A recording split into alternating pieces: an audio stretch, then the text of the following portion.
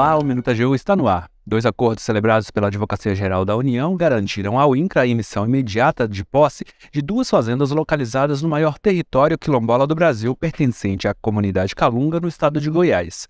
A conciliação vai permitir o encerramento de uma discussão judicial iniciada em 2014, quando a AGU, na representação do INCRA, ingressou com duas ações de desapropriação para regularizar a área. Embora tenha inicialmente atendido ao pedido da autarquia federal, o juiz de primeiro grau acabou por extinguir os processos, dizendo que os decretos presidenciais que autorizavam a expropriação dos imóveis são de 2009 e, por isso, estariam prescritos. Mas a AGU recorreu ao Tribunal Regional Federal da Primeira Região, sustentando que os prazos legais não se aplicam no caso quilombola.